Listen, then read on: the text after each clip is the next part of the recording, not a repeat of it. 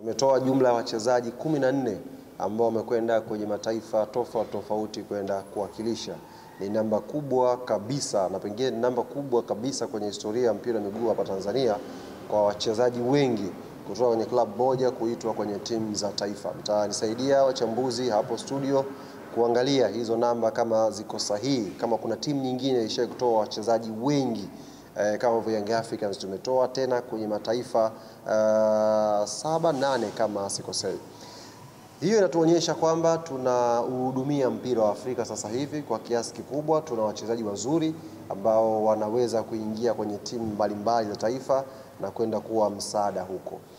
Hapa ambako wameondoka wachezaji kumi na nne, wengine wamebakia kambini kwetu, na nyie ni mashahidi.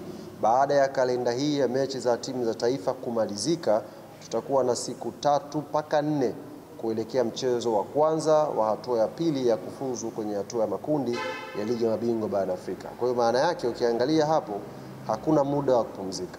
Sisi tulisajili kikosi kipana chenye ubora mkubwa, tukiwa tuna malengo ya kuziba nafasi kama hizi zikitokea, basi ambao wanabakia waweze kutreni vizuri na waweze kwenda uh, kuiwakilisha vizuri klabu yetu kuja kuungana na wale ambao watakuwa muda mrefu na kambi.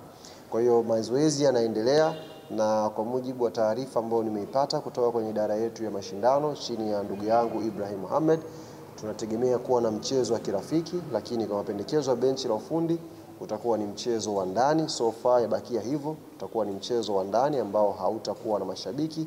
Lengo ni mwalimu kuendelea uh, kujiandaa vizuri kimbinu, kuendelea fitness ya wachezaji ikae vizuri, ili wanaporudi hawa wengine twende moja kwa moja tukacheze vizuri kwenye mchezo huo pasina kutelea. Kama unakumbuka msimu um, uliopita mechi yetu ya kwanza ya makundi dhidi ya CR Belouizdad tulipata athari kubwa, kwa sababu wachezaji wengi walichelewa kujoin kwenye kambi yetu.